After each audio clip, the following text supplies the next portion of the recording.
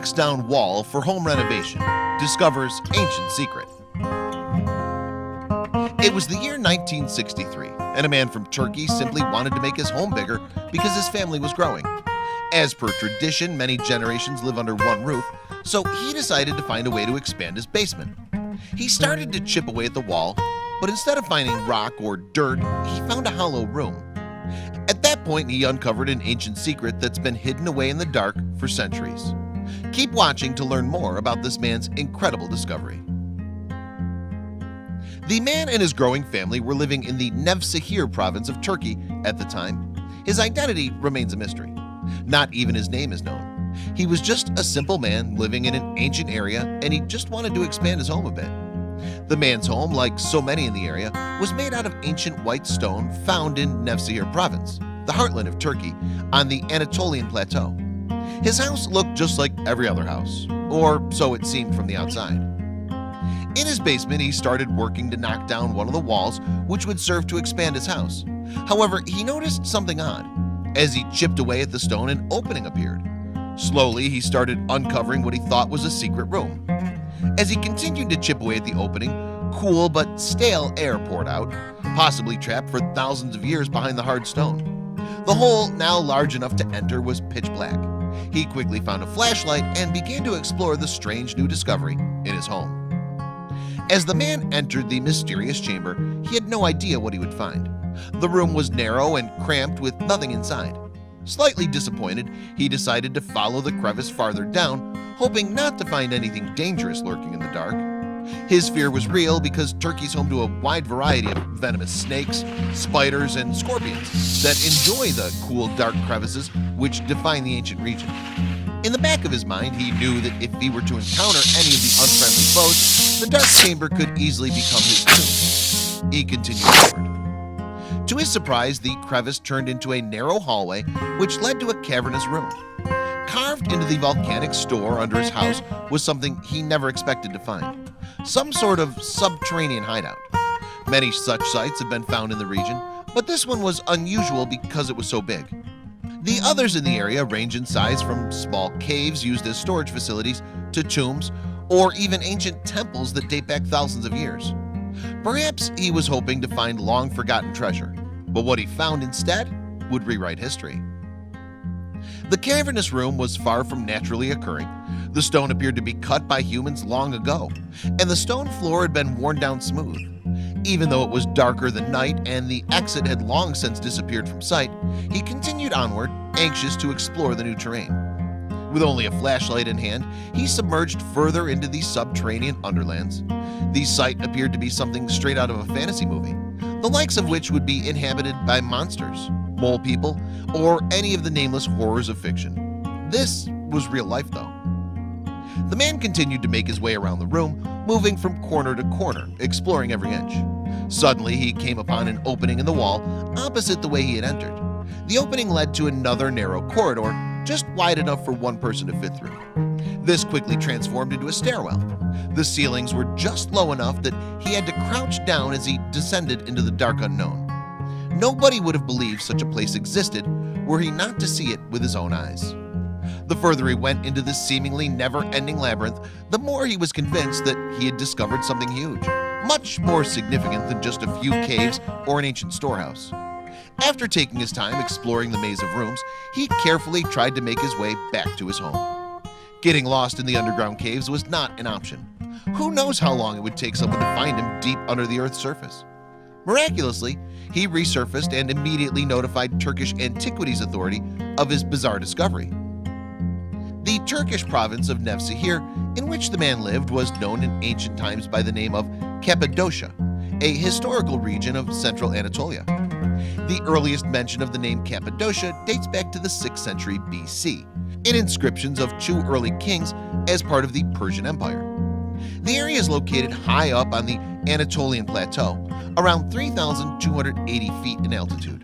It's dry and arid, and the landscape is pierced by volcanic peaks. There are at least 14 volcanoes scattered around this territory of modern-day Turkey. Could the strange lair be related to the volcanoes? Researchers began their hunt to uncover the truth surrounding this strange place.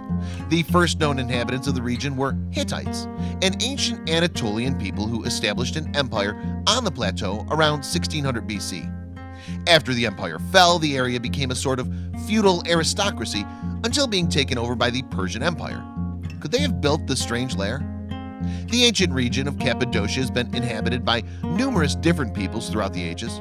The biblical book of Acts suggests that it was inhabited by Jews.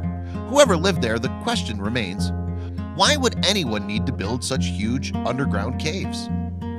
Turkish authorities arrived to investigate the new discovery. Little did they know that they were walking into one of the greatest archaeological discoveries ever. After some exploration, researchers confirmed that the site was actually the lost subterranean city of Derinkuyu. Many had come to think that the city of Derinkuyu was just a myth, much like Atlantis or El Dorado. Researchers believe the construction of the city, at first just small caves, began in the 8th and 7th centuries BC by the Phrygians, an Indo-European people. Archaeologists were shocked at just how deep down the city went. Since the discovery of Derinkuyu in 1963, many theories have arisen as to the exact purpose of the city and why it was necessary to build such a complex. Some researchers have theorized that the original purpose of the underground city was as a shelter from natural disasters. Others hypothesized that the city had been created to hide from alien invasions. The Zoroastrian text Vendidad refers to an underground city that was built on the orders of the god Ahura Mazda to protect the residents from a catastrophic winter. Though not widely accepted, some researchers claim that the Zoroastrian text refers to the city of Derinkuyu. If the city referenced is Derinkuyu, that would date its construction from between 1500 to 1200 BC. Archaeologists began their work and began to believe that Derinkuyu descended at least 18 stories below the surface, making it one of the largest ancient man-made underground sites in the world. Researchers estimate that the city, at capacity, could have housed as many as 20,000 people and provided them with their basic necessities.